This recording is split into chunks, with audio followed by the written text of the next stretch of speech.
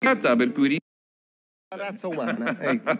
Ancora c'è stato molto stupore perché anche qui l'Italia spaccata sui Sì. social, vedo, sull'intervento dell'ex onorevole grillina Sara Cunial alla Camera. Sì. E ha fatto una tirata per cui rischia anche un'accusa di vilipendio nei confronti del nostro Presidente della Repubblica. Che poi, ma che gli vuoi dire a Mattarella? Dai. Santuomo, devo Comunque dire. ho- ho- voglio riportarvi uno stralcio di questo discorso che sta dividendo la popolazione. La tra- Cunial, per capirci, Eh, era sì. Quella che venne beccata mentre a Pasquetta andava a Ostia, al e- mare, e disse, e disse sono parlamentare, posso andare posso per andare, lavoro. la- Eh, la come? Costituzione permette ai parlamentari di andare a Vabbè, Ostia, questo come, come fosse una della casta, Esattamente.